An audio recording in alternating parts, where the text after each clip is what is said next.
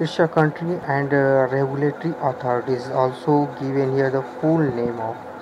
these countries. USA US FDA United States Food and Drug Administration UK MHRA Medicines and Healthcare Products Regulatory Agency Australia TGA Therapeutic Goods Administration South Africa MCC Medicine Control Council Europe EMEA European Medicines Evaluation Agency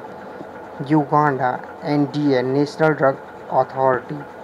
Romania NMA National Medicines Agency and Nigeria NAFDAC National Agency for Food and Drug Administration and Control Brazil Anvisa Agencia Nacional de Vigilancia Sanitaria Malaysia DCA Drug Control Authority Philippines BFDA Bureau of Food and Drug Administration Vietnam MOH Ministry of Health Thailand FDA Food and Drug Authority Sri Lanka SPC State Pharmaceutical Corporation Zimbabwe MCAZ Medicines Control Authority of Zimbabwe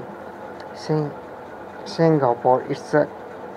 HAS Health Sciences Authority Canada TPP Therapeutic Products Program and the Colombia INVIMA ERNVIMA